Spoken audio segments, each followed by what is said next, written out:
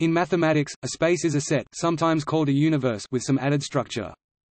While modern mathematics uses many types of spaces, such as Euclidean spaces, linear spaces, topological spaces, Hilbert spaces, or probability spaces, it does not define the notion of space itself. A space consists of selected mathematical objects that are treated as points, and selected relationships between these points. The nature of the points can vary widely, for example, the points can be elements of a set, functions on another space, or subspaces of another space. It is the relationships that define the nature of the space. More precisely, isomorphic spaces are considered identical, where an isomorphism between two spaces is a one-to-one -one correspondence between their points that preserves the relationships. For example, the relationships between the points of a three-dimensional Euclidean space are uniquely determined by Euclid's axioms, and all three-dimensional Euclidean spaces are considered identical. Topological notions such as continuity have natural definitions in every Euclidean space. However, topology does not distinguish straight lines from curved lines, and the relation between Euclidean and topological spaces is thus forgetful. Relations of this kind are sketched in Figure 1, and treated in more detail in the section, Types of spaces. It is not always clear whether a given mathematical object should be considered as a geometric space or an algebraic structure. A general definition of structure. Proposed by Bourbaki, embraces all common types of spaces, provides a general definition of isomorphism, and justifies the transfer of properties between isomorphic structures.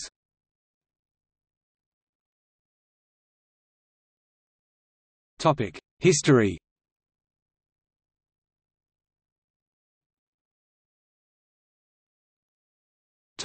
Before the Golden Age of Geometry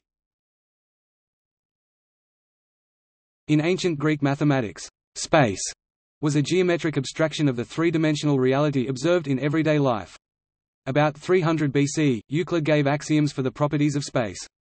Euclid built all of mathematics on these geometric foundations, going so far as to define numbers by comparing the lengths of line segments to the length of a chosen reference segment. The method of coordinates analytic geometry was adopted by René Descartes in 1637. At that time, geometric theorems were treated as absolute objective truths knowable through intuition and reason, similar to objects of natural science, and axioms were treated as obvious implications of definitions. Two equivalence relations between geometric figures were used, congruence and similarity. Translations, rotations and reflections transform a figure into congruent figures, homotheties into similar figures. For example, all circles are mutually similar, but ellipses are not similar to circles. A third equivalence relation, introduced by Gaspard Monge in 1795, occurs in projective geometry not only ellipses, but also parabolas and hyperbolas, turn into circles under appropriate projective transformations, they all are projectively equivalent figures. The relation between the two geometries, Euclidean and projective, shows that mathematical objects are not given to us with their structure.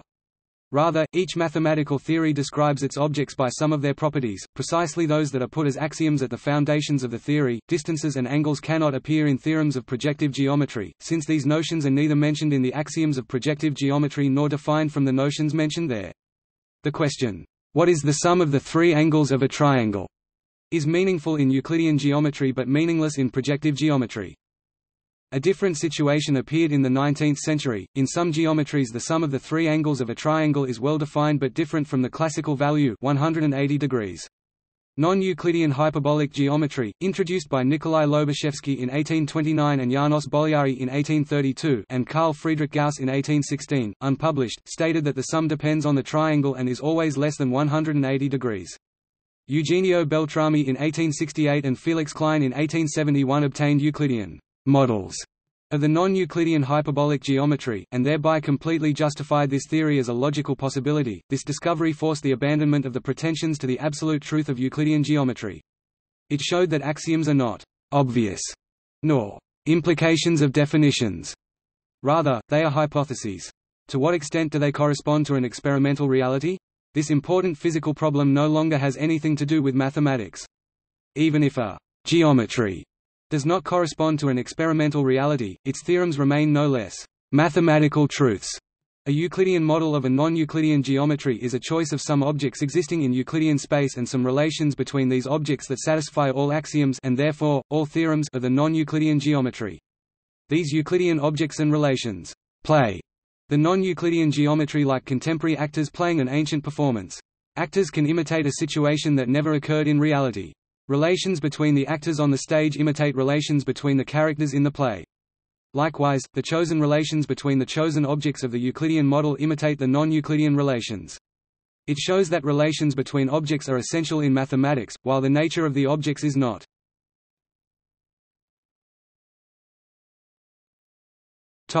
The Golden Age and afterwards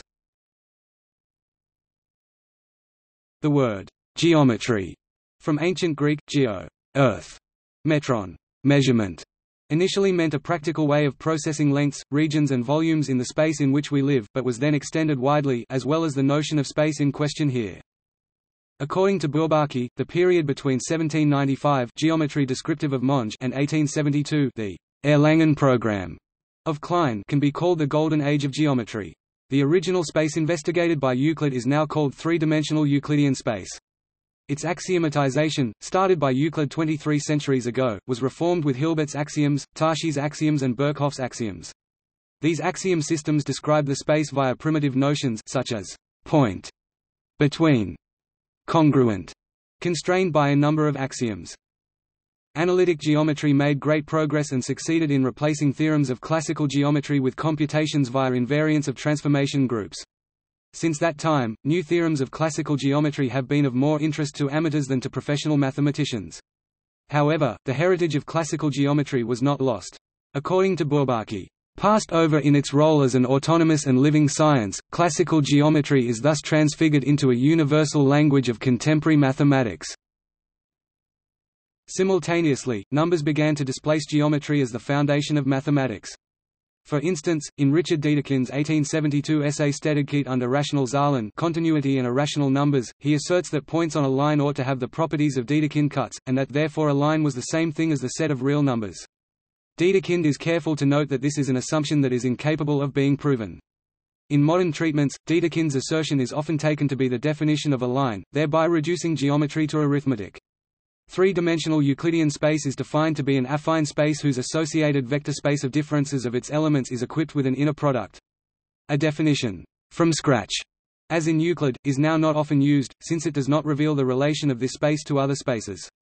Also, a three-dimensional projective space is now defined as the space of all one-dimensional subspaces that is, straight lines through the origin of a four-dimensional vector space. This shift in foundations requires a new set of axioms, and if these axioms are adopted, the classical axioms of geometry become theorems. A space now consists of selected mathematical objects for instance, functions on another space, or subspaces of another space, or just elements of a set treated as points, and selected relationships between these points. Therefore, spaces are just mathematical structures of convenience. One may expect that the structures called spaces are perceived more geometrically than other mathematical objects, but this is not always true. According to the famous inaugural lecture given by Bernhard Riemann in 1854, every mathematical object parametrized by n real numbers may be treated as a point of the n-dimensional space of all such objects.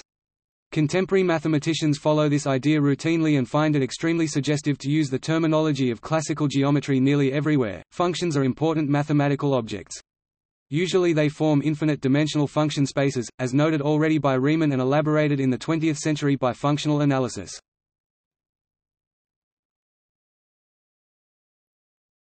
Topic: Taxonomy of spaces.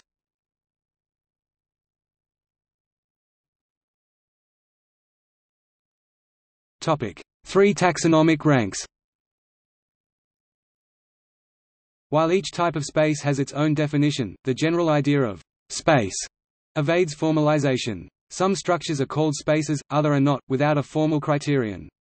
Moreover, there is no consensus on the general idea of structure According to Pudlak, mathematics cannot be explained completely by a single concept such as the mathematical structure. Nevertheless, Bourbaki's structuralist approach is the best that we have. We will return to Bourbaki's structuralist approach in the last section, spaces and structures, while we now outline a possible classification of spaces and structures in the spirit of Bourbaki. We classify spaces on three levels. Given that each mathematical theory describes its objects by some of their properties, the first question to ask is, which properties? This leads to the first upper classification level. On the second level, one takes into account answers to especially important questions among the questions that make sense according to the first level. On the third level of classification, one takes into account answers to all possible questions. For example, the upper-level classification distinguishes between Euclidean and projective spaces, since the distance between two points is defined in Euclidean spaces but undefined in projective spaces. Another example. The question, "'What is the sum of the three angles of a triangle?' makes sense in a Euclidean space but not in a projective space. In a non-Euclidean space the question makes sense but is answered differently, which is not an upper-level distinction. Also, the distinction between a Euclidean plane and a Euclidean three-dimensional space is not an upper-level distinction. The question, "'What is the dimension?' makes sense in both cases. The second-level classification distinguishes, for example, between Euclidean and non-Euclidean spaces, between finite-dimensional and infinite-dimensional spaces, between compact and non-compact spaces, etc. In Bourbaki's terms, the second-level classification is the classification by species Unlike biological taxonomy, a space may belong to several species. The third-level classification distinguishes, for example, between spaces of different dimension, but does not distinguish between a plane of a three-dimensional Euclidean space, treated as a two-dimensional Euclidean space, and the set of all pairs of real numbers, also treated as a two-dimensional Euclidean space. Likewise it does not distinguish between different Euclidean models of the same non-Euclidean space. More formally, the third level classifies spaces up to isomorphism.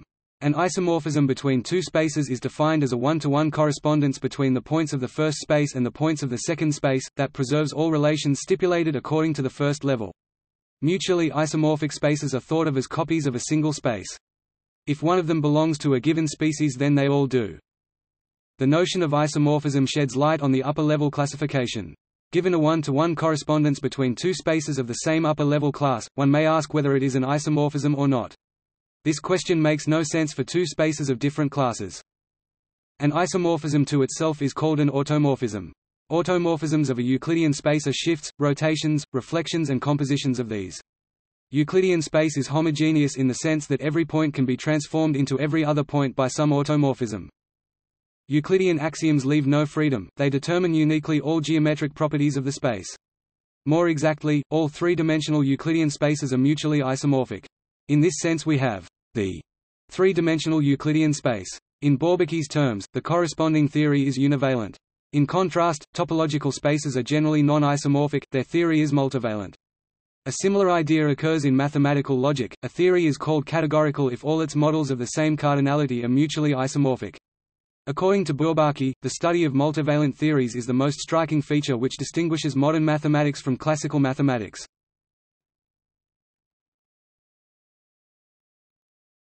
Topic: Relations between species of spaces.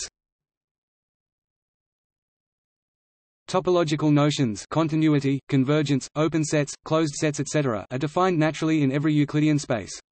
In other words, every Euclidean space is also a topological space.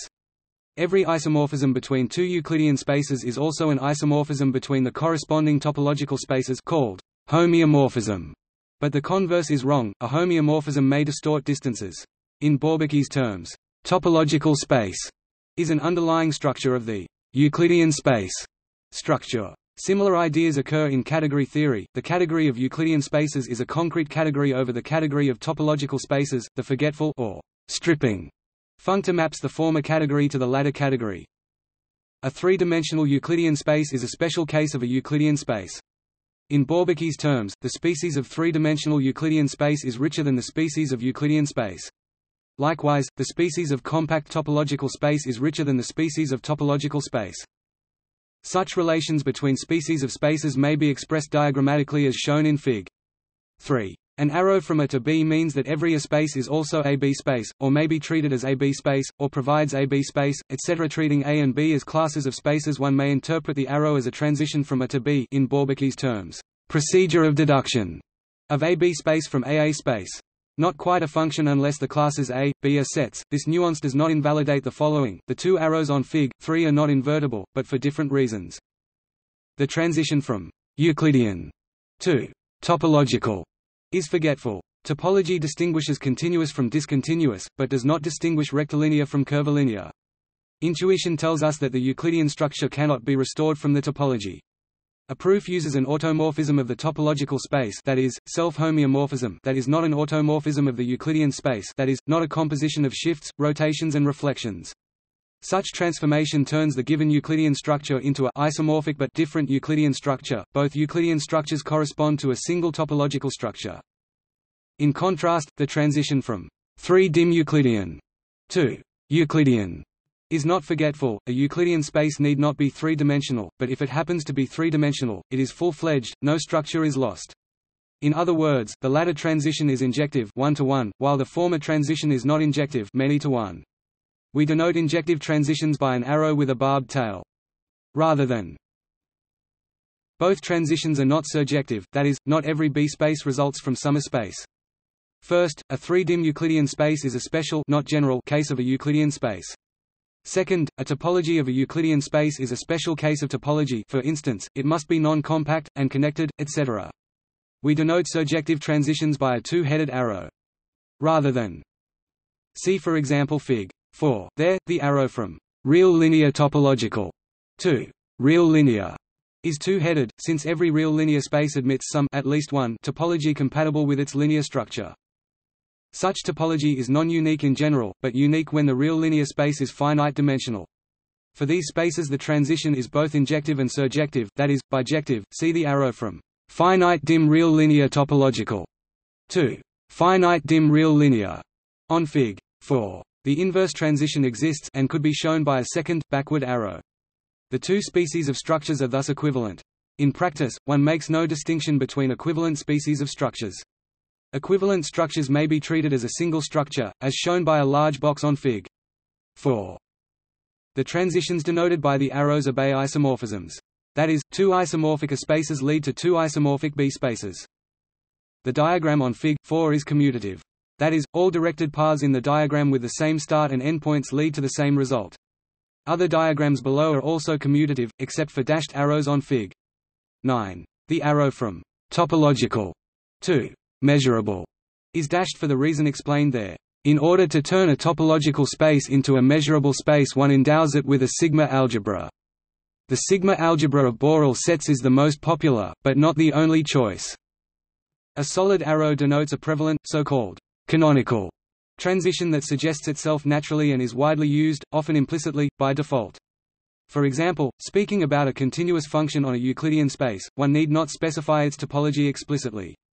In fact, alternative topologies exist and are used sometimes, for example, the fine topology, but these are always specified explicitly, since they are much less notable than the prevalent topology. A dashed arrow indicates that several transitions are in use and no one is quite prevalent.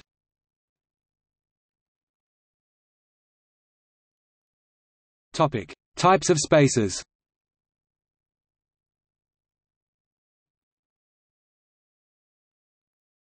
Topic: Linear and topological spaces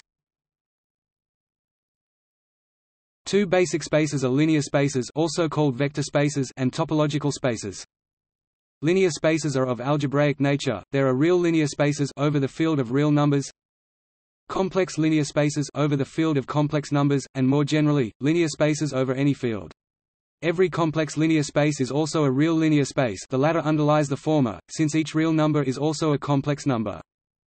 More generally, a vector space over a field also has the structure of a vector space over a subfield of that field. Linear operations, given in a linear space by definition, lead to such notions as straight lines and planes, and other linear subspaces, parallel lines, ellipses and ellipsoids. However, it is impossible to define orthogonal perpendicular lines, or to single out circles among ellipses, because in a linear space there is no structure like a scalar product that could be used for measuring angles. The dimension of a linear space is defined as the maximal number of linearly independent vectors or, equivalently, as the minimal number of vectors that span the space, it may be finite or infinite. Two linear spaces over the same field are isomorphic if and only if they are of the same dimension. A n-dimensional complex linear space is also a 2n-dimensional real linear space. Topological spaces are of analytic nature. Open sets, given in a topological space by definition, lead to such notions as continuous functions, paths, maps, convergent sequences, limits, interior, boundary, exterior. However, uniform continuity, bounded sets, Cauchy sequences, differentiable functions, paths, maps remain undefined. Isomorphisms between topological spaces are traditionally called homeomorphisms, these are one-to-one -one correspondences continuous in both directions. The open interval 0, 1 is homeomorphic to the whole real line infinity, infinity but not homeomorphic to the closed interval 0, 1, nor to a circle. The surface of a cube is homeomorphic to a sphere the surface of a ball but not homeomorphic to a torus. Euclidean spaces of different dimensions are not homeomorphic, which seems evident, but is not easy to prove. The dimension of a topological space is difficult to define, inductive dimension based on the observation that the dimension of the boundary of a geometric figure is usually one less than the dimension of the figure itself and Lebesgue covering dimension can be used. In the case of a n-dimensional Euclidean space, both topological dimensions are equal to n. Every subset of a topological space is itself a topological space in contrast, only linear subsets of a linear space are linear spaces. Arbitrary topological spaces, investigated by general topology called also point set topology are too diverse for a complete classification up to homeomorphism. Compact topological spaces are an important class of topological spaces species of this type. Every continuous function is bounded on such space. The closed interval 0, 1 and the extended real line infinity, infinity are compact, the open interval 0, 1 and the line infinity, infinity are not. Geometric topology investigates manifolds and other species of this type. These are topological spaces locally homeomorphic to Euclidean spaces and satisfying a few extra conditions. Low-dimensional manifolds are completely classified up to homeomorphism. Both the linear and topological structures underlie the linear topological space in other words, topological vector space structure. A linear topological space is both a real or complex linear space and a topological space, such that the linear operations are continuous. So a linear space that is also topological is not in general a linear topological space. Every finite-dimensional real or complex linear space is a linear topological space in the sense that it carries one and only one topology that makes it a linear topological space. The two structures, finite-dimensional real or complex linear space, and finite-dimensional linear topological space are thus equivalent, that is, mutually underlying. Accordingly, every invertible linear transformation of a finite-dimensional linear topological space is a homeomorphism.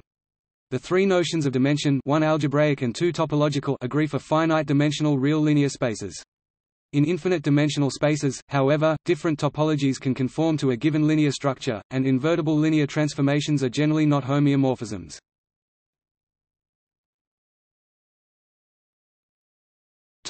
Affine and projective spaces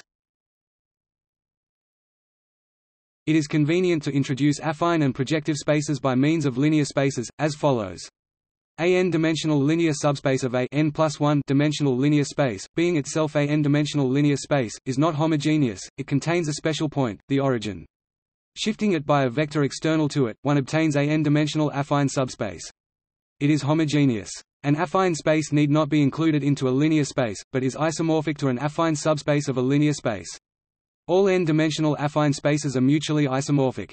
In the words of John Baez, "...an affine space is a vector space that's forgotten its origin." In particular, every linear space is also an affine space. Given an n-dimensional affine subspace R in a n plus 1 dimensional linear space L, a straight line in A may be defined as the intersection of A with a two-dimensional linear subspace of L that intersects A, in other words, with a plane through the origin that is not parallel to A. More generally, a k-dimensional affine subspace of A is the intersection of A with a k plus 1 dimensional linear subspace of L that intersects A. Every point of the affine subspace A is the intersection of A with a one-dimensional linear subspace of L. However, some one-dimensional subspaces of L are parallel to A, in some sense, they intersect A at infinity. The set of all one-dimensional linear subspaces of a n plus 1 dimensional linear space is, by definition, a n-dimensional projective space. And the affine subspace A is embedded into the projective space as a proper subset. However, the projective space itself is homogeneous. A straight line in the projective space corresponds to a two-dimensional linear subspace of the n plus 1 dimensional linear space. More generally, a k-dimensional projective subspace of the projective space corresponds to a k plus 1 dimensional linear subspace of the n plus 1 dimensional linear space, and is isomorphic to the k-dimensional projective space. Defined this way, affine and projective spaces are of algebraic nature, they can be real, complex, and more generally, over any field. Every real or complex affine or projective space is also a topological space. An affine space is a non-compact manifold, a projective space is a compact manifold. In a real projective space a straight line is homeomorphic to a circle, therefore compact, in contrast to a straight line in a linear of affine space.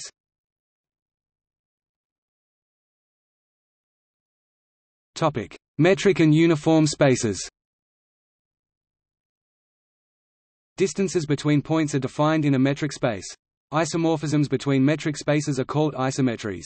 Every metric space is also a topological space. A topological space is called metrizable, if it underlies a metric space. All manifolds are metrizable. In a metric space, we can define bounded sets and Cauchy sequences. A metric space is called complete if all Cauchy sequences converge. Every incomplete space is isometrically embedded, as a dense subset, into a complete space the completion. Every compact metric space is complete, the real line is non-compact but complete, the open interval 0, 1 is incomplete. Every Euclidean space is also a complete metric space. Moreover, all geometric notions immanent to a Euclidean space can be characterized in terms of its metric. For example, the straight segment connecting two given points A and C consists of all points B such that the distance between A and C is equal to the sum of two distances, between A and B and between B and C. The Hausdorff dimension related to the number of small balls that cover the given set applies to metric spaces, and can be non-integer especially for fractals. For a n-dimensional Euclidean space, the Hausdorff dimension is equal to n. Uniform spaces do not introduce distances, but still allow one to use uniform continuity, Cauchy sequences or filters or nets, completeness and completion. Every uniform space is also a topological space. Every linear topological space metrizable or not is also a uniform space, and is complete in finite dimension but generally incomplete in infinite dimension. More generally, every commutative topological group is also a uniform space. A non-commutative topological group, however, carries two uniform structures, one left invariant, the other right invariant.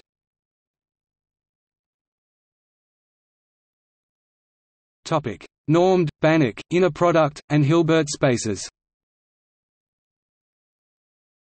Vectors in a Euclidean space form a linear space, but each vector x displaystyle x has also a length. In other words, norm x displaystyle lvert x rvert. A real or complex linear space endowed with a norm is a norm space. Every norm space is both a linear topological space and a metric space. A Banach space is a complete norm space. Many spaces of sequences or functions are infinite dimensional Banach spaces. The set of all vectors of norm less than 1 is called the unit ball of a norm space. It is a convex, centrally symmetric set, generally not an ellipsoid, for example, it may be a polygon in the plane or, more generally, a polytope in arbitrary finite dimension. The parallelogram law called also parallelogram identity x minus y 2 plus x plus y 2 equals two x two plus two y two. Display style L vert x y R vert caret two plus L vert x plus y R vert caret two equals two L vert x R vert caret two plus two L vert y R vert caret two. Generally fails in norm spaces, but holds for vectors in Euclidean spaces, which follows from the fact that the squared Euclidean norm of a vector is its inner product with itself. X 2 equals x x display style l vert x r vert caret 2 equals x x an inner product space is a real or complex linear space, endowed with a bilinear or respectively sesquilinear form, satisfying some conditions and called an inner product. Every inner product space is also a norm space.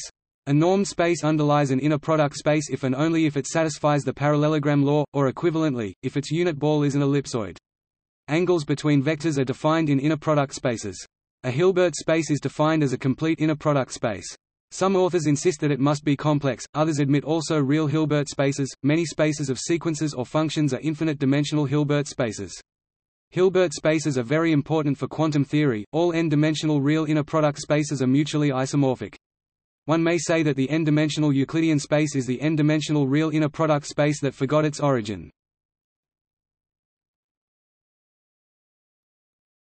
Topic: Smooth and Riemannian manifolds. Smooth manifolds are not called spaces, but could be. Every smooth manifold is a topological manifold, and can be embedded into a finite-dimensional linear space. Smooth surfaces in a finite-dimensional linear space are smooth manifolds, for example, the surface of an ellipsoid is a smooth manifold, a polytope is not. Real or complex finite-dimensional linear, affine and projective spaces are also smooth manifolds.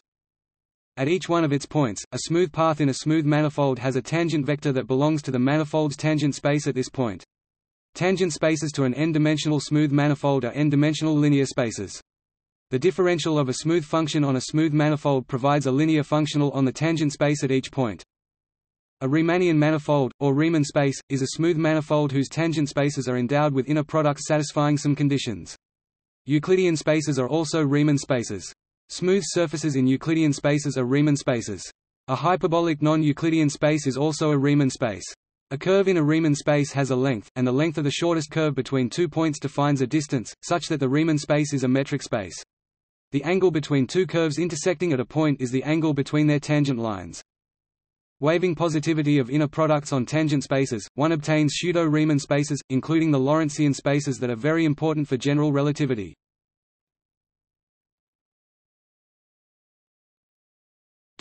Measurable, measure, and probability spaces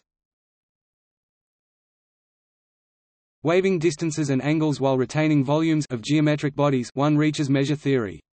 Besides the volume, a measure generalizes the notions of area, length, mass or charge distribution, and also probability distribution, according to Andrei Kolmogorov's approach to probability theory. A geometric body of classical mathematics is much more regular than just a set of points. The boundary of the body is of zero volume. Thus, the volume of the body is the volume of its interior, and the interior can be exhausted by an infinite sequence of cubes. In contrast, the boundary of an arbitrary set of points can be of non-zero volume an example, the set of all rational points inside a given cube. Measure theory succeeded in extending the notion of volume to a vast class of sets, the so-called measurable sets. Indeed, non-measurable sets almost never occur in applications.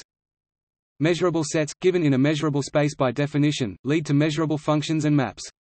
In order to turn a topological space into a measurable space one endows it with a sigma algebra. The sigma algebra of Borel sets is the most popular, but not the only choice. Baire sets, universally measurable sets, etc., are also used sometimes. The topology is not uniquely determined by the Borel sigma algebra, for example, the norm topology and the weak topology on a separable Hilbert space lead to the same Borel sigma algebra. Not every sigma algebra is the Borel sigma algebra of some topology. Actually, a sigma algebra can be generated by a given collection of sets or functions irrespective of any topology. Every subset of a measurable space is itself a measurable space. Standard measurable spaces also called standard Borel spaces are especially useful due to some similarity to compact spaces CEOM. Every bijective measurable mapping between standard measurable spaces is an isomorphism, that is, the inverse mapping is also measurable. And a mapping between such spaces is measurable if and only if its graph is measurable in the product space. Similarly, every bijective continuous mapping between compact metric spaces is a homeomorphism, that is, the inverse mapping is also continuous.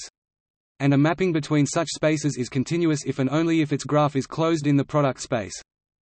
Every Borel set in a Euclidean space and more generally, in a complete separable metric space, endowed with the Borel sigma algebra, is a standard measurable space. All uncountable standard measurable spaces are mutually isomorphic. A measure space is a measurable space endowed with a measure.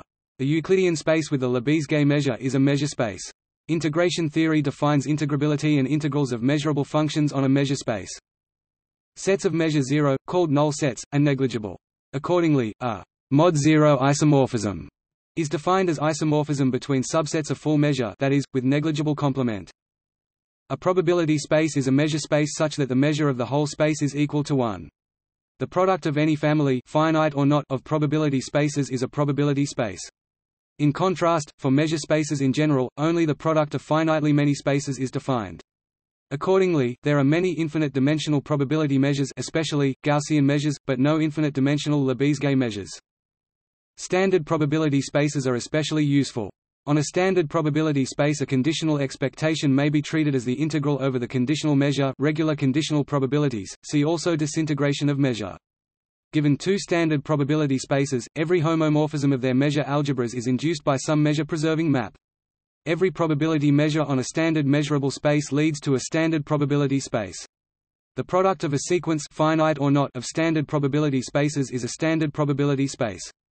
All non-atomic standard probability spaces are mutually isomorphic mod 0, one of them is the interval 0, 1 with the Lebesgue measure. These spaces are less geometric. In particular, the idea of dimension, applicable in one form or another to all other spaces, does not apply to measurable, measure and probability spaces.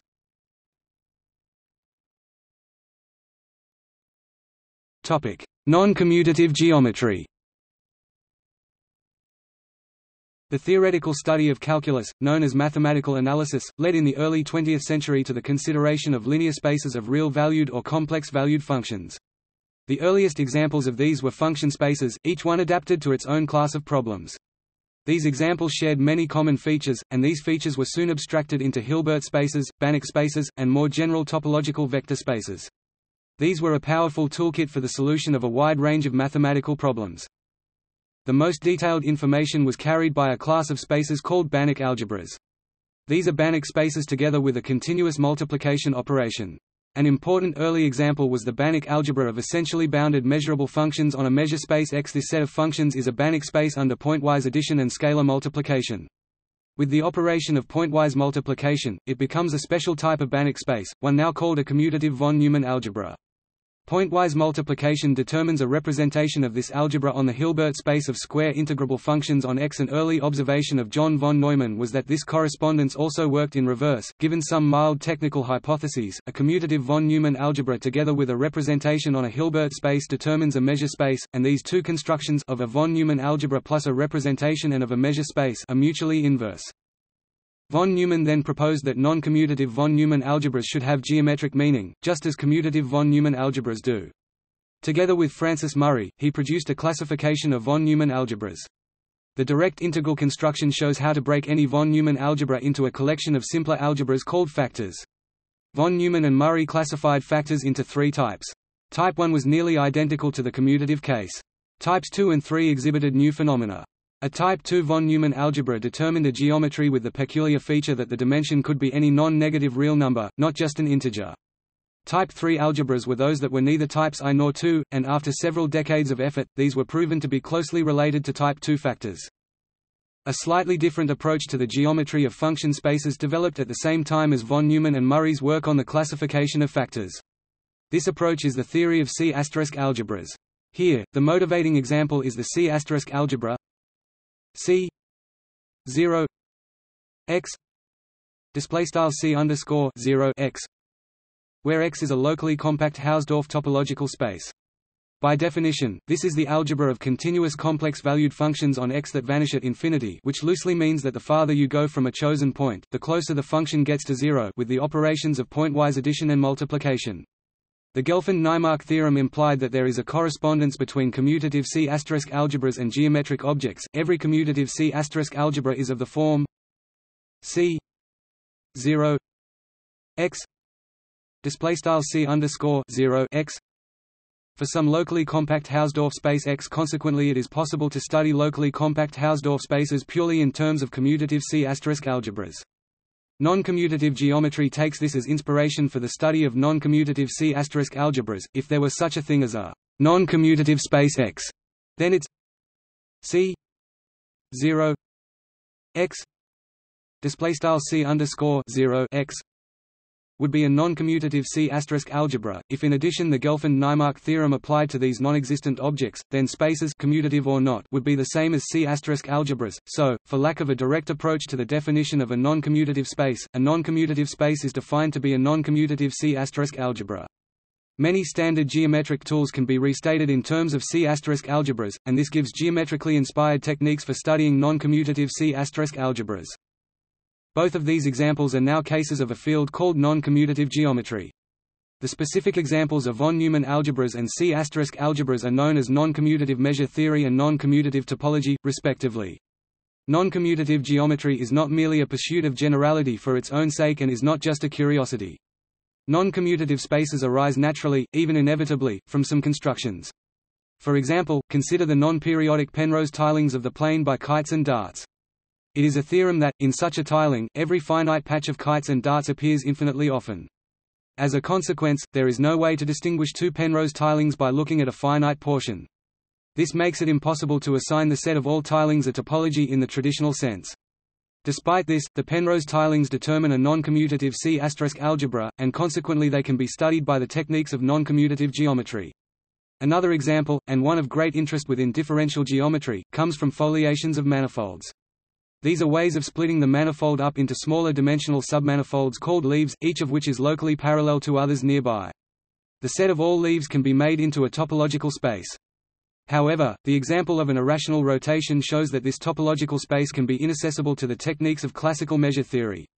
However, there is a non-commutative von Neumann algebra associated to the leaf space of a foliation, and once again, this gives an otherwise unintelligible space a good geometric structure.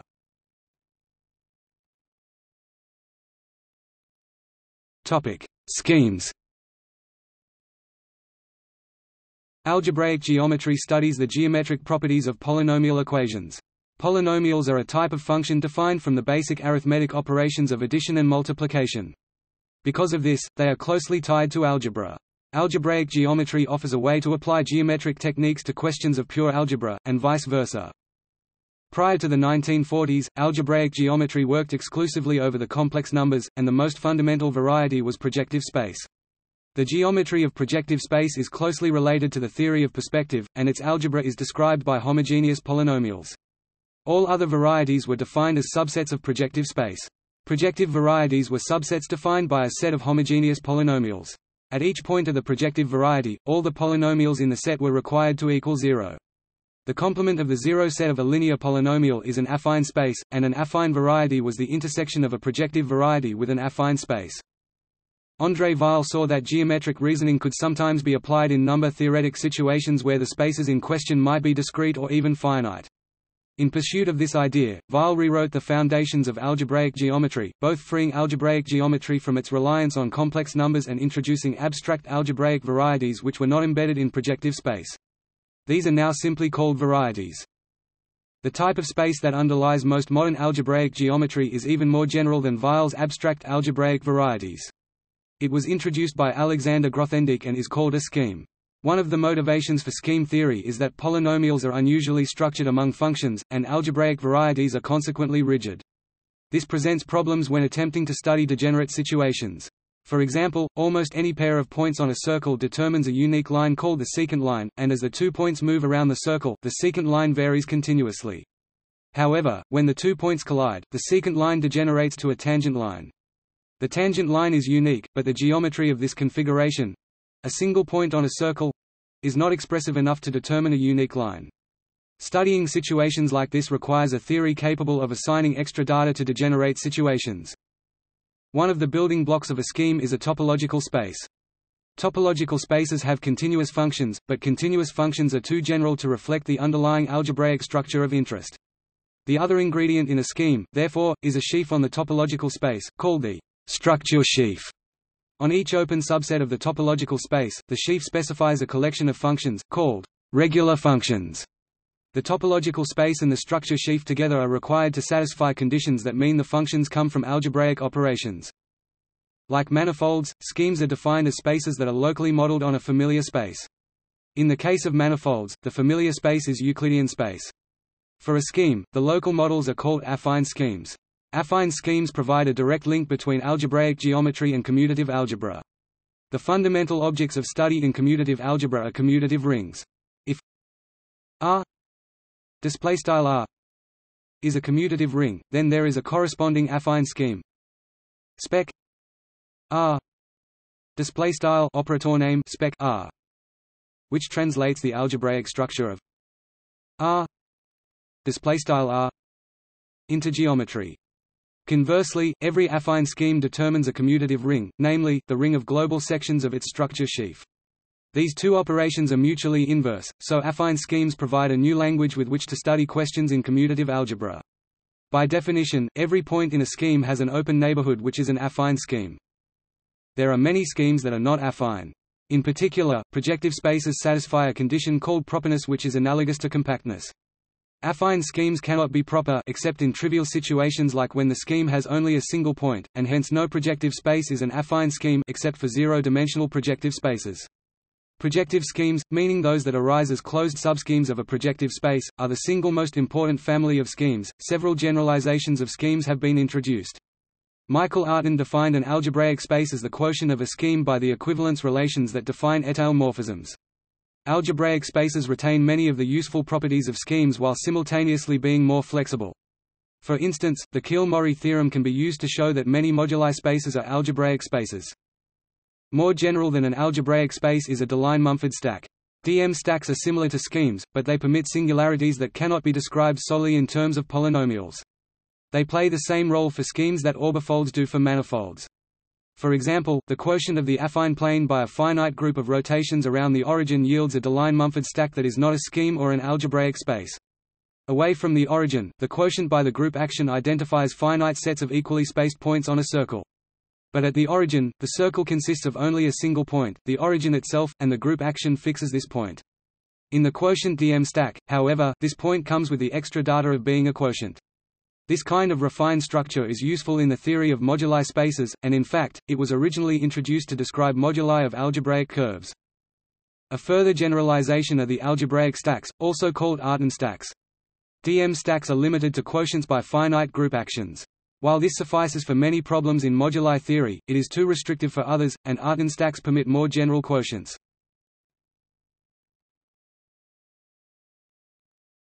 Topic: Topoi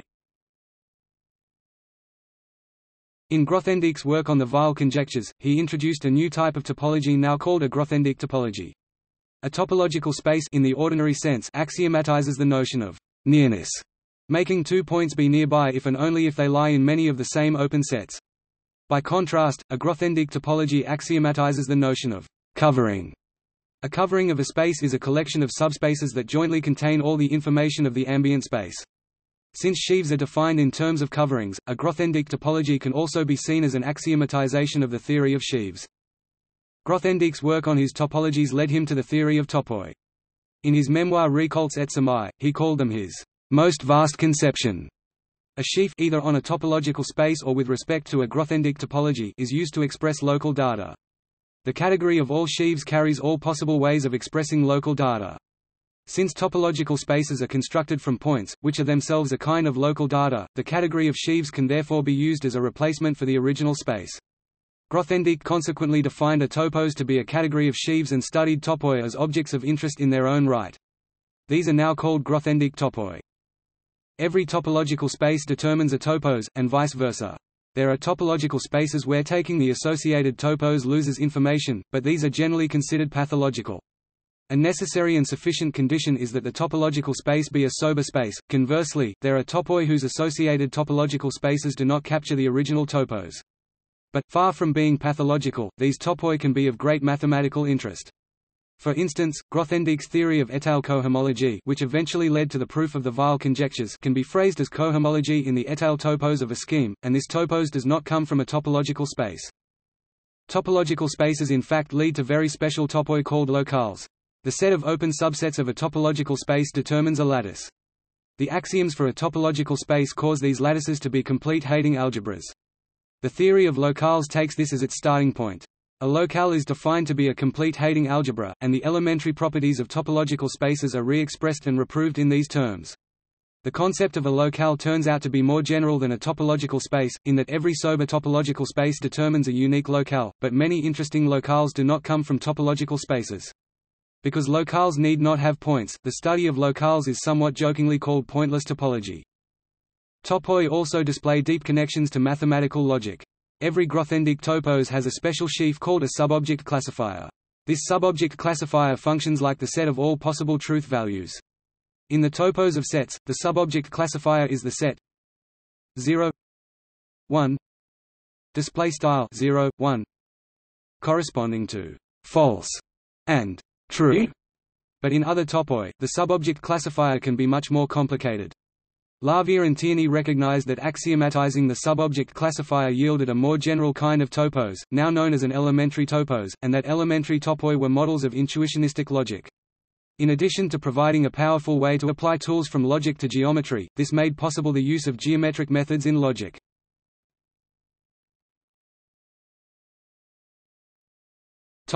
Spaces and structures. According to Kevin Carlson, neither of these words, space and structure, have a single mathematical definition.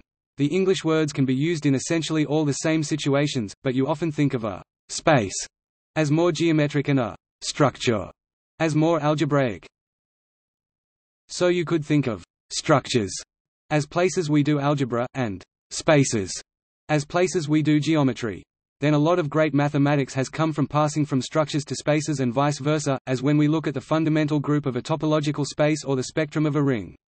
But in the end, the distinction is neither hard nor fast and only goes so far. Many things are obviously both structures and spaces, some things are not obviously either, and some people might well disagree with everything I've said here. Nevertheless, a general definition of structure was proposed by Bourbaki. It embraces all types of spaces mentioned above, nearly, all types of mathematical structures used till now, and more.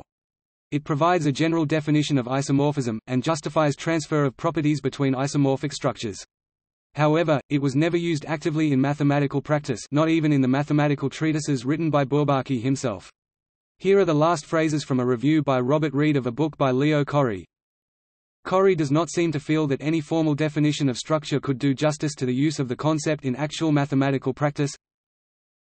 Corry's view could be summarized as the belief that structure refers essentially to a way of doing mathematics, and is therefore a concept probably just as far from being precisely definable as the cultural artifact of mathematics itself. For more information on mathematical structures see Wikipedia, mathematical structure, equivalent definitions of mathematical structures, and transport of structure. The distinction between geometric spaces and algebraic structures is sometimes clear, sometimes elusive. Clearly, groups are algebraic, while Euclidean spaces are geometric. Modules over rings are as algebraic as groups. In particular, when the ring appears to be a field, the module appears to be a linear space, is it algebraic or geometric? In particular, when it is finite-dimensional, over real numbers, and endowed with inner product, it becomes Euclidean space, now geometric. The algebraic field of real numbers is the same as the geometric real line. Its algebraic closure, the algebraic field of complex numbers, is the same as the geometric complex plane. It is first of all a place we do analysis, rather than algebra or geometry. Every space treated in section types of spaces above, except for non-commutative geometry schemes and topoi subsections, is a set the principal base set of the structure, according to Bourbaki endowed with some additional structure, elements of the base set are usually called points of this space. In contrast, elements of the base set of an algebraic structure usually are not called points. However, sometimes one uses more than one principal base set.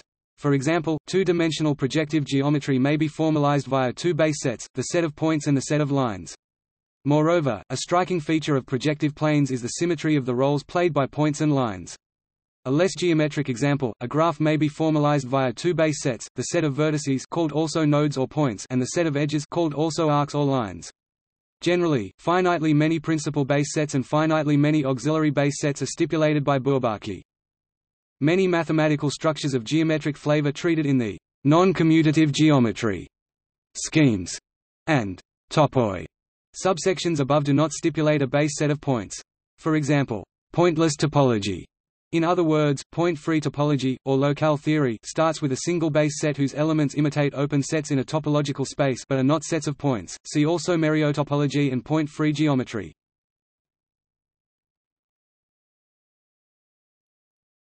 Topic: Mathematical spaces by name.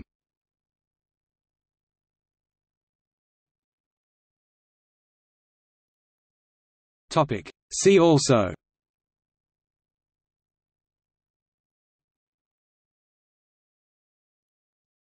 Topic. Notes. Equals equals footnotes